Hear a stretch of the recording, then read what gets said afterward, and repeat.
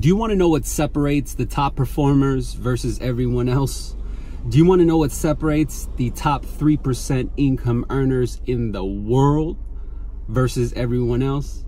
Do you want to know that one slight difference that if you can simply adopt, understand, practice, and appreciate will put you leaps ahead of your everyday folk? And so my goal here in this video is to help you remaster the way you perceive this one thing because this one thing has been the main culprit as to why the individuals you may look up to now, maybe the individuals you work for now, or the people you see making moves right now, they understand this. They've not only understood it, but they've mastered it and then they've remastered it. And so my goal is to help you remaster your perception of looking at this one thing. And if it works, you're already going to give yourself a boost that you need to reach the level that you desire. Let's go.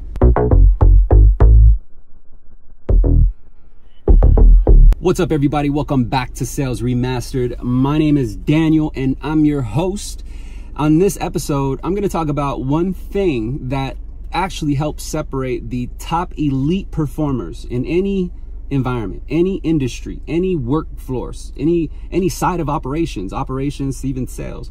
You know, it, it's just this. Uh, it's this one thing that these particular individuals look at and the way they understand it, the way they use it, the way they manipulate it. And I hope that you can figure out a creative way to also look at it, understand it, and manipulate it for your favor. Now, before I tell you what this one thing is, let me go ahead and tell you why I came up with this particular topic. You know, I have, you know, it's the end of January and I'm, and I'm looking back at, at this month already and I've got this uh, this top performer on my team. Her name's Monique. Shout out Monique if you're watching this. Man, it's it's insane. She's gonna submit and elevate over 30 loans this month. I think it's like 35. And this is in a refinance market. You tell me who's who's elevating, submitting deals at that amount uh, right now in refinance. This chick is gonna, if not hit 40 um, by today, she's she's definitely surpassed her quota, which was 20 and so and so I, am thinking about I'm, I'm looking at her and you know and I'm and I'm trying to figure out what was the main culprit and you know I give a shout out to every day I, I you know as much as I can I use her actions as kind of a, a reference point for the rest of the team right and I think I figured it out and I'm gonna share it with you now before I even go into that, let me let me explain. I, if man, if I could find it, I'm gonna leave a link below this video. But about a year ago this time, I made a video that was actually about her, and I made it at a point where she was about to give up, where she was feeling burnt. She just felt like she kept hitting a wall. And, you know, she was, you know, like she's like she's hood, man. She's she's a G, you know, like she's polite, she's courteous, she's classy, she's a lady. But at the end of the day, she's a G. She'll let you know what's up. Like she, you know I mean? She's very independent. And I and I respect that. I hope my daughter has my daughters have that that type of character about them too as well.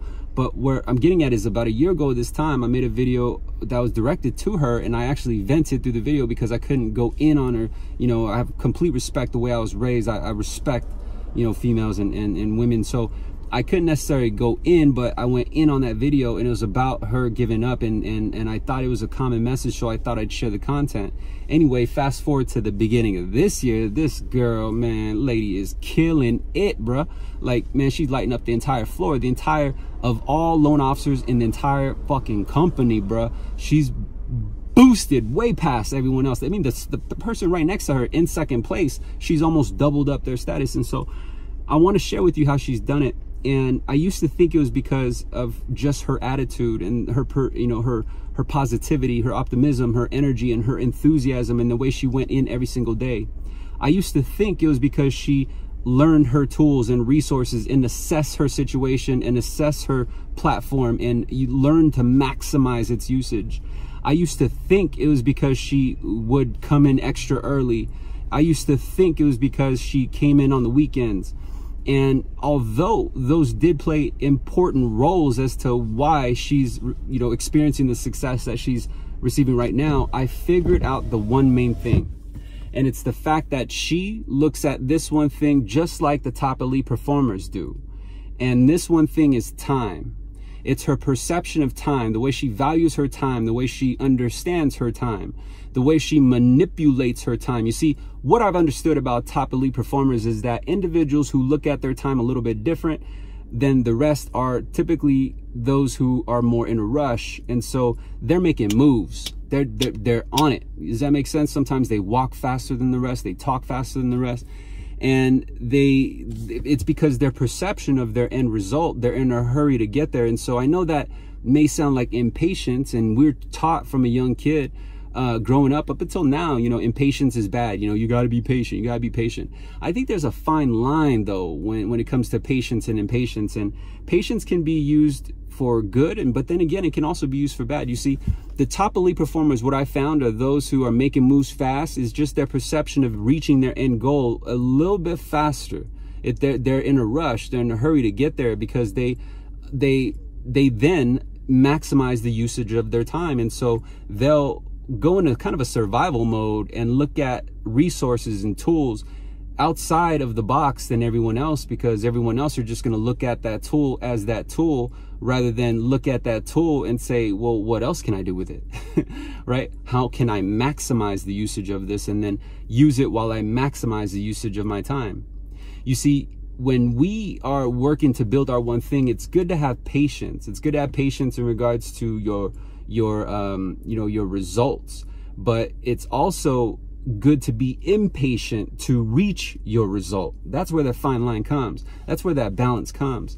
You see when we look at our time we can look at it at, in so many different ways. I'll give you just the main perspective right? Like well today's only monday right? Well at least today's monday. Like I, I believe that in human nature not only salesmen not only loan officers have a difficult time of seeing two weeks in front of them let alone see a month, a year, and a couple years. And what separates her, Monique, is that she understands the power of her time. And so even though she doesn't work 12 hour, 13 hour days, she don't need to. Even though she don't necessarily work full days on the week, but will come in on the weekend, she doesn't necessarily need to, but she understands it's, she understands it's an option. And I got many top performers that are that are killing on my team. I'm only singling her out because uh, about a year ago at this time, I made this one video that was about her and she was at a rock bottom about to give up. And so wherever this video finds you, if you if it finds you at a point where you're just not seeing the results and you're getting impatient, I need you to be impatient about reaching the destination, not impatient about, oh, woe is me. How come I'm not getting the Glengarry leads? How come I'm not making enough sales? Boo boo, figure it out.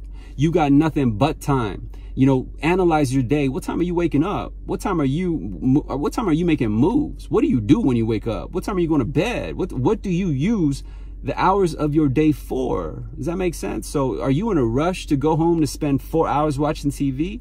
Or are you in a rush to go home to spend 4 hours to building your craft and and building your outlet and building your bridge and and doing things that are meant for your future? Or are you just are, you know what I mean? Or are you just looking at time and like, man, I got plenty of time, right? The people are just patient. And, and I grew up in a day and age where it wasn't cool to walk fast. It wasn't cool to be in a hurry to do something. It was cool to walk slow as fuck.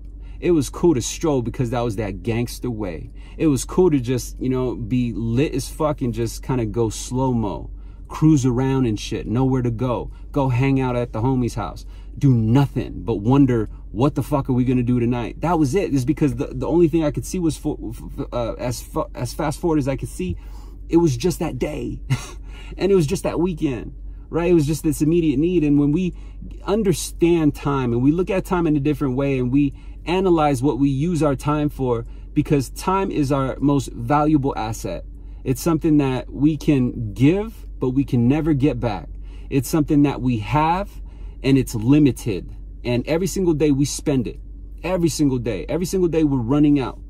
And when we take a step back we analyze and be like, yo, man, I don't give a fuck how old I am. I don't give a fuck how my past has been. All I know is that today I got a pocket full of time and I'm going to spend it wisely. I'm going to spend it on the actions that are going to buy me back time. And so how do you buy yourself back time? You buy yourself back time by building your book of business. You buy yourself back time by understanding how to maximize your time.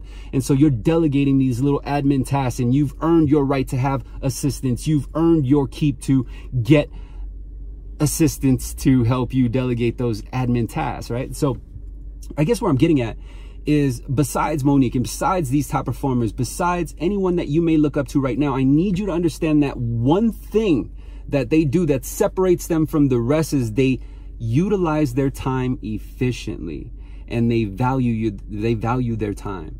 You know these top performers by the time it hits 8 a.m most of us are wiping boogers out of our eye. But these people have made so many different moves. There's this statistic that most billionaires and most millionaires wake up at 4 a.m and this is one of the reasons why i adopted the philosophy and i was like bro what the fuck am i gonna do at 4 a.m right? Like, what are you going to do? And so what I figured out, what you do is you actually feed yourself, you feed your mind, you feed your future because you're analyzing your time. That's all we're doing. Every single day we got time to spend. Every single day we got a pocket full of time and it's burning a hole in our pocket. So much so that it's just passing by. It's dripping. It's just dripping all day. And, and, and, and it's up to us of whether or not we're going to protect it and let it drip in areas that will feed us in the future. Makes sense? So whatever it is that you're trying to do, whether you're trying to reach a top performer, whether you're trying to reach that income level, whether you're trying to reach maximum fitness, whatever it is you are trying to do or whatever it is that you're you're you're moving forward to understand that when you when you sit and assess your time you will actually reach that destination much faster because you will weed out every single thing that is not putting you closer to that one thing. And when you weed out all those in, inactive or, or, or erroneous activities and you only focus on, on, on, po- on positive return actions, right? Like if I take this action, if I take this one hour and instead of sleep in, or if I take this one hour instead of watch Narcos, and I put that one hour towards my self development, or I put that one hour towards the gym, or I put that one hour towards maybe assessing my resources or my CRM or the tools that I have or my past clients, I can actually feed my future. And here's the upside, my friend, is that when you get on this momentum, it becomes addicting. It becomes so addicting that everyone's going to look at you a little bit weird and be like, how the fuck do you find time to do all that? Well, they found time because they made time, boo boo. They found time because they appreciate their time and they made time because they're a thermostat. They are not a thermometer that's reacting off the environment. And that's the main message of the day is take advantage of your time. Speaking of which, today is Thursday and Breakfast of Champions is back. It's going live in a couple hours. Catch me on YouTube and Facebook, Instagram, Twitter and be sure that you pick apart the message within these live streams. I spend 30 minutes with you every week to give you some information that's going to feed your brain and feed your pipeline and thus feed your pocketbook and feed your mouth.